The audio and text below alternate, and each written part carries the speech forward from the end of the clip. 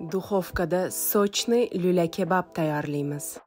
Qiymaga mayda to'g'ralgan болгарский, qirg'ichdan o'tkazilgan piyoz sabzi kartoshka ikkita tuxum chesnok tuz murch va xohishga ko'ra sevimli pripravalaringizni solib yaxshilab aralashtirib bir xil massa qilib olamiz.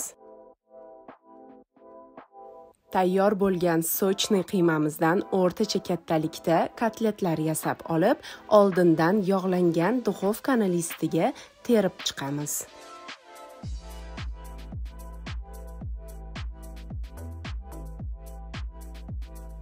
Kotletlarni duxovkaga yuborishdan oldin qoshiq yordamida xuddi videoda ko'rsatilgandek chiroyli qilib bezatib olamiz.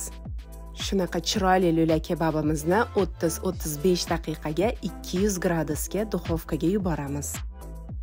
Sochni lula kebabimizni uksuslangan piyozlar bilan mazza qilib iste'mol qilamiz. Bizaga esa yoqimli ishtaha.